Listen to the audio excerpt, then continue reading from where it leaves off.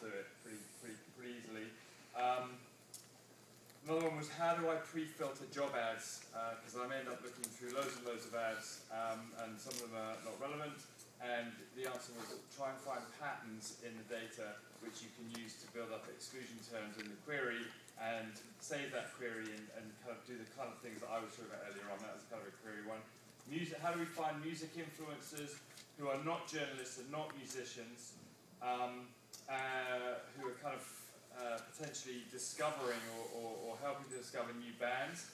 And the kind of ideas that we came up with there were search for lists of bands and find the kinds of similar bands and find the, find the kinds of people that are talking about them. Um, have a look at Last.fm top users, and if possible, we didn't. I can't actually figure out how to do this, but I mean, there, has got to be a way.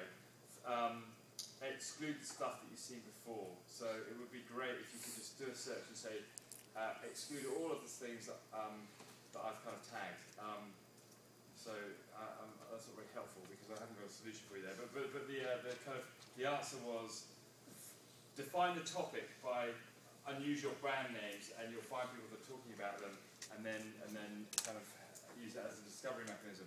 And then, do you want to come and talk about your sure. one, which was uh, what about finding a single metric for online brand strength or brand uh, kind of uh, activity, I guess. Yeah, so basically the question came up in relation to uh, offline they have brand trackers so everyone can find out what their brand is doing.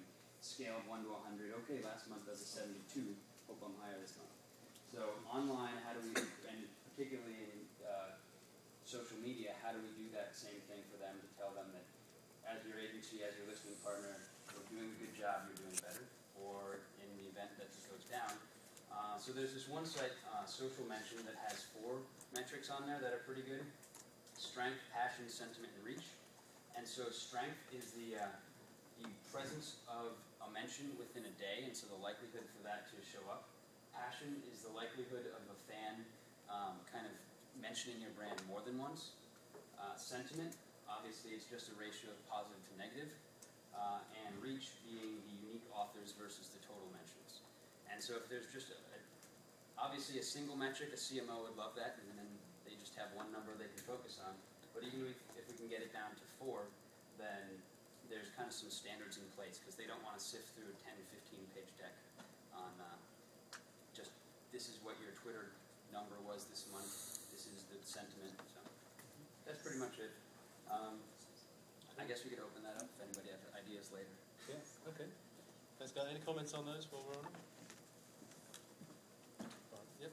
Wouldn't kind of like an industry trade association of some sort probably have to set that standard and maintain it because what yeah, we, what we, private business entity or for profit would you trust to do that or trust the research or the definitions of those terms and how that would be determined across the board? Agreed. Like if that sounds like something that should be taken up I mean, in that arena. It would I would completely agree. Um, who that body would be is not entirely clear. Yeah, like is there like um, a social media association? but, uh, but it would be great. It would be, uh, one would well, be an example, um, but uh, it would be, it would be, a, I think, a good thing to do, but I think it's going to take time because yeah. not only do you have to define it, then you have to implement it across the board in all of the applications, which is going to be easier for some and, and not for others, right? Yeah. But still, I think it's, yeah. So this is like, like Klout trying to become the influence yeah. uh, sort of indicator. And what tends to happen is that, in, at least in tech, in the tech space, mm-hmm. large companies historically have kind of grabbed that. So Microsoft is the standard for sharing documents through this kind of Word document and so on and so forth. Um, and Google's the standard for this, and, and they use their kind of corporate power to that make those things happen. Yeah. Um, but then you've got WC3 with H mm. with the HTML standards and all those other um, standards, which are open standards, which are really good, and they help. They basically help the industry, but it takes a hell of a long time, yeah. and it does take somebody with some clout to well, do. Probably um, closest might be Facebook. They're like with their with their, with their people their, their yeah. social graph. You know, they want to basically have that as the as the uh, and Facebook Connect as the as the open ID. Who's going to stop it? Probably no one. Yeah. Right. Yeah. Okay. Thanks, Charles and his gang. Um, Loic, do you want to yep. show us what you guys got up to? Sure. oh, it's right. Drake page. You get the page. Yeah, don't forget It was more like a chat, but we had we had some great ideas. Wow, We're really cool. it's fant. Um, Where, where, where, where is the thing? Uh, there were there were there were several questions and several several points. The, the main thing that is really interesting is that we started to talk about monitoring, and maybe seventy percent of the conversation was about engagement, so to engage with people. Uh, the first, I think, the first big issue we had was uh, where to start. What should I do? How can I start monitoring? What what should I do first? And we had several people that uh, had already uh, did an audit of the, the reputation of a brand, but had like 600 pages. 600 pages. 600 pages. Take it on of, uh, pages. Lots of KPIs, lots of, uh, of interesting stuff, but you don't know what to do with it. So Yeah, what we thought is that it could.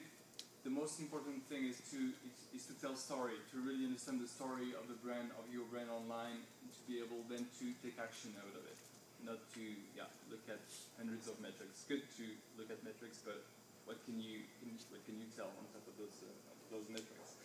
Uh, the other big question was uh, so what's next? So what you I monitor I have some reports, weekly reports, monthly reports, but so what? What can I do next? Uh, community management is of course something that it seems to be very important. You work at the Career Builder and you are implementing this, and it's, it's, it's, it seems to be something really, really big. And uh, yeah, the question is, um, shall we do this internally or externally? Um, do you have a good experience maybe you can share with uh, with uh, everybody about um, the the agency that was fired because of uh, there, there was a problem with uh, with external offshoring the, the the community management Maybe not mentioning the agency, but um, well, the, um, the, the client that I had for the past year um, went through two PR directors